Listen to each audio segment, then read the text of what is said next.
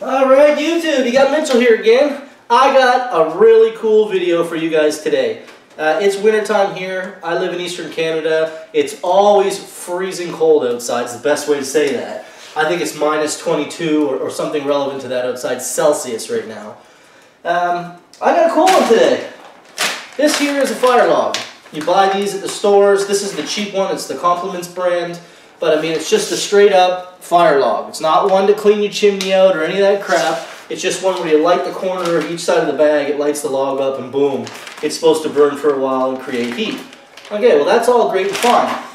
Let's do a way today to create heat for free forever. Okay? This is wood heat we're discussing here. Clearly I got the stove just a rare right now.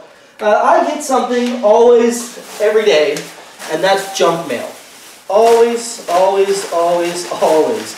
Junk mail. The, every day. You can't open your mailbox without having a bunch of crap in there you don't want. So instead of throwing this in your garbage and then it goes to landfills and all that other stuff, why not turn it into something that's free to you but creates heat for your family, which saves you money, okay? So what I'm going to do is I'm going to take all this junk and when you bring it in the house, Set, set aside a little bin or something that you can throw it into. Take it down in the basement. I got a whole bunch of newspaper stuff I stockpile for the stove. And some years I've got so much paper that we've collected over the, the summer, it's, it's just too much. You can throw all that crap in there, okay? This is a great way. You're going to love it. So let's jump right into it, and I'm going to show you okay, steps. First thing you need to do is get buckets, okay? I got three buckets here. That is the correct number for this equation. You're going to need a drill with a drill bit. It don't matter what kind of drill bit you got as long as it's going to poke holes, okay? You're going to take it, drill a bunch of holes. Now I've already pre-done that so I don't have to make a bunch of racket on the camera. I got a whole bunch of holes in the bottom and I've got some holes around the outside edge. Nothing crazy, just some to help the water flow. So that's step number one, is put the holes in the bucket, okay? Step number two, regular bucket, nothing about it, you haven't touched it, you haven't done anything to it, and you want to take and take bucket number one, put it inside bucket number two. So now the one that I put holes in is in here, and the one that doesn't have holes in it is in the bottom. Now the idea behind this is that you're going to take all your paper and all your crap that you got, and you're going to dump it into the one that has the holes, okay? Now you also need water in this. That looks like a bill that I should be keeping. But uh, you got to put water in this too, okay? So I got a bucket here that I've already added some paper to, and I've got water in it. And I'm just going to pour it into my bucket. Like I said, I already put a bunch of paper in there and it soaked for a little bit. So now we'll give you a shot and show you what we got. We've essentially got the makings for paper mache or pulp. So pulp is, is going to be all ground. You're going to grind this all up. It's going to create pulp or something that's comparable to paper mache. And then we're going to turn it into fire logs. But I got another cool fact that we can put in this as well.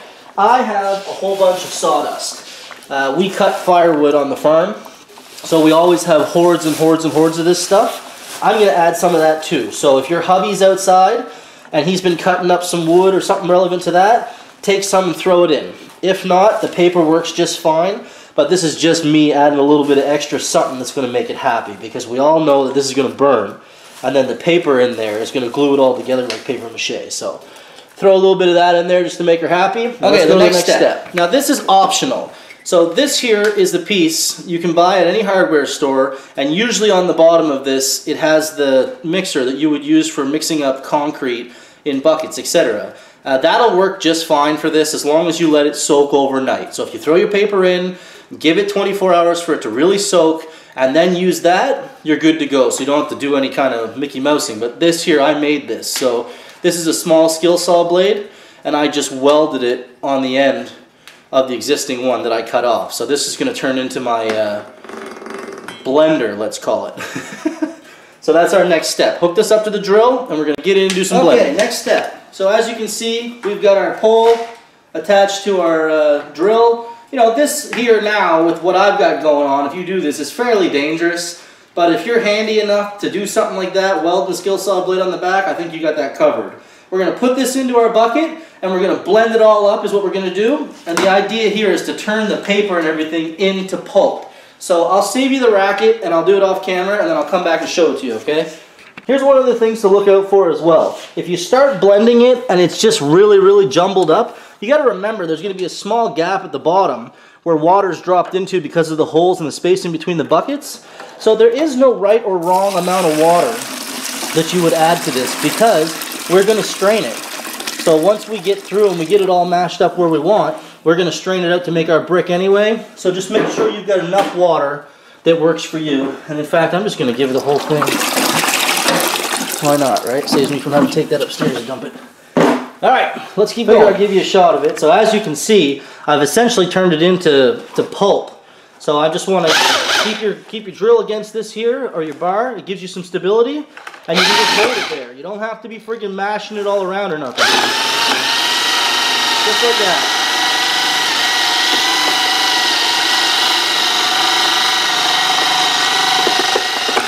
You know, you're basically just turning it into a big old blender, but clear as day, you can see I've made some pretty good pulp there. This is the concept behind making the bricks themselves. This whole procedure has taken me, what, seven minutes now? And you watch what's going to come out of this and how long it's going to burn for. Step. Like I said, this is an easy, easy procedure. Bucket, okay?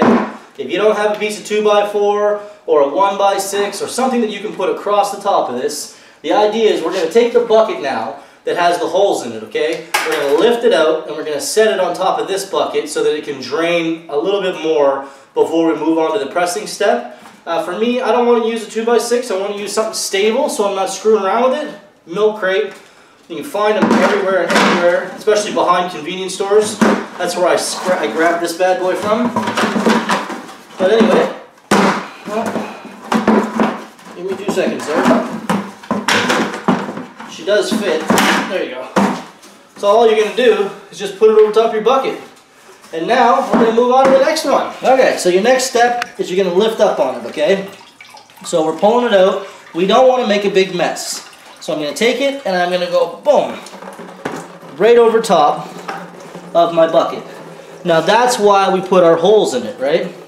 The reason for the holes was so that it can drain out. Now here's another good point, okay? I've got my other bucket behind it. What should I do with all that soggy water that was in there? Well, let's think about this. This has got weight in it now, right? So the next thing I want to do is, and also, this is another reason why I want to use a milk crate instead of the 2x4. I want to take and slowly put this in here. I don't want water shooting out the sides all over the floor, okay? That's not what we're going for at all. But you can see here, we've got our bottom bucket, we've got our milk crate, we've got our bucket with holes, and we've got our weight bucket with water, and you can hear it. It's draining.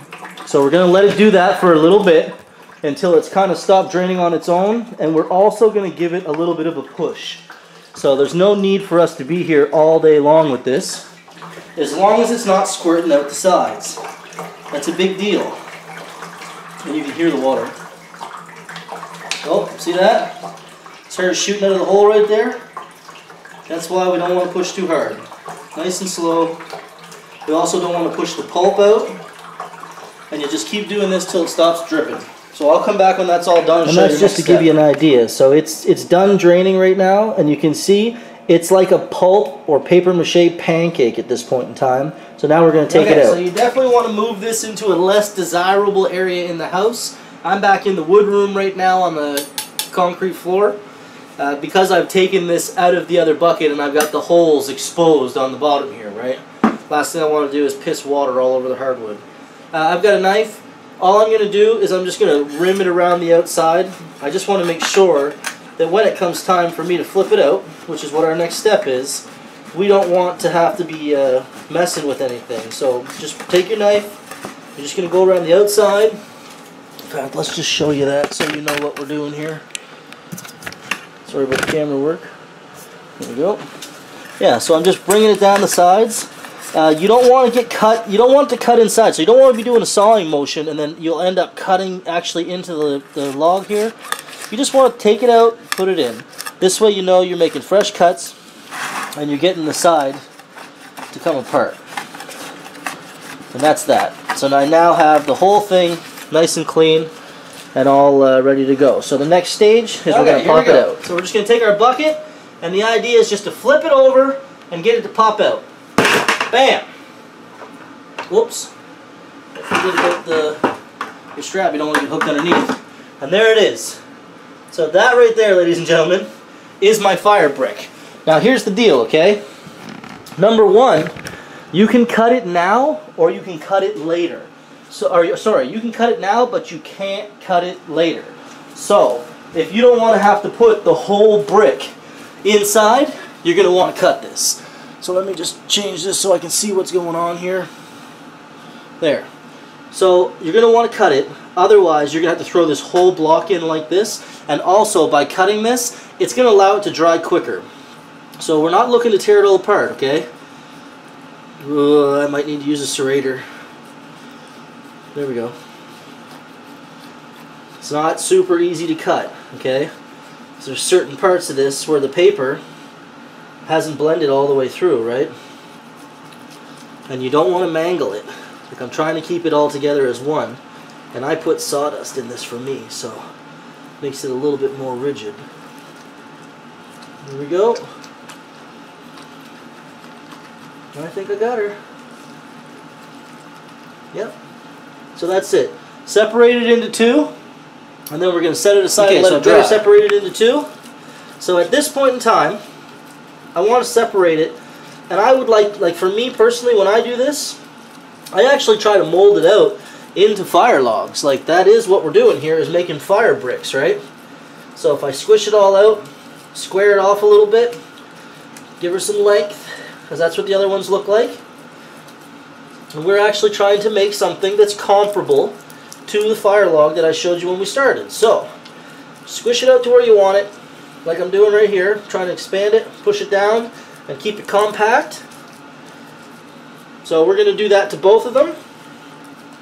And then we're going to let this dry. Now these fire logs, they're probably going to take something relevant to uh, a week, two weeks for it to be fully dried. It's kind of like when you put the wood in your house. You can't just throw it in the stove. You got to give it a little bit of time to go to that happy place, right? So just space them out, make your two logs, give it a couple weeks, and then these things here, you're going to throw this in the stove and it's going to burn for two hours, two and a half, three hours. And it's going to provide great heat and we didn't pay anything for that at all. So once these are dried, I'm going to come back and show it to you and then we'll do a comparable with the one that I purchased. Okay, so I'm back. Operation Homemade Fire Log. This here essentially is going to be free heat for the rest of your life. I mean, it's a little bit of work that you got to do with some miscellaneous that comes in the mail or some random paper, random paper scraps that you got around the house, but it essentially is going to create fire logs for you, okay? This is the store-bought. There's the dried version of what we made. Okay? It looks like one of the fire logs. It's got a little bit of weight to it like the fire logs, and these things burn really, really, really good. So I'm going to open this up just to show you. Um, I mean, their fire logs are all dark and they look friggin' like peat moss. That's their fire log, okay? It's dark. This, this is our fire log. So ours is lighter. Obviously it's not going to be the same thing. I don't know what the hell they put in this, but I know what we put in this. So what we're going to do now is we're going to throw it in the stove and I'm going to show you that this here will get the stove lit up and raring in a good, good way. So let's do that. Okay, so I've got a little bit of coals going on the bottom of the stove. I mean, the easiest way to light this is just to throw it in there with the coals. And I got one, and we had made two. So we're going to throw the second one in, and we'll just close up the door and we'll let her get going. Just remember, it doesn't take a lot of heat, a lot of firewood to create a lot of heat. So we'll get those two burning and we'll come back and get a shot of it. So you can see it just started to burn, and already we're getting a good flame on that. Now it's about how long it's going to burn for. But uh, this is going to light right up. It's going to heat the whole basement. And I literally made that out of some scrap newspaper and some junk that came in the mail. So you can see right there, that's a great fire. Like I said, it doesn't take much to heat the entire basement. Or if you've got your stove in the living room, this really, really does work and it'll save you a lot of money. If you make a couple of these bricks, once a week or once every whatever i mean stockpile them for the whole year it doesn't matter the point is you didn't pay a nickel for what's in there. It just took a little bit of your time and a little bit of know-how, and now you got a great fire that's going to warm the whole basement up or your whole house, and it's free. That's the big word. Free heat forever. It's forever. As long as you keep making it, it's forever. And look at that. That is burning great.